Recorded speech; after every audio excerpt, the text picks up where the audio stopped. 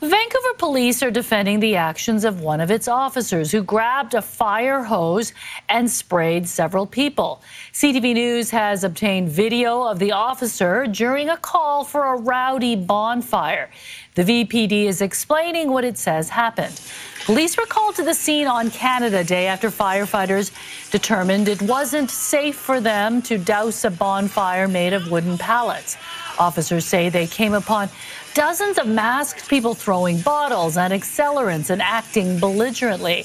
The video shows one of the officers grabbing a firefighter's hose and spraying several people near the bonfire.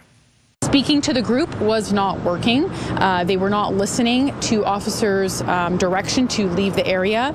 Um, using any type of less lethal force um, would have been very dangerous as well, as there was a, a, fire right in that area, and that could have caused uh, more of a destruction. So uh, our officers then took one of the hose of the firemen that were there and sprayed it at one instigator of the fire, who continuously was throwing jerry cans at the fire.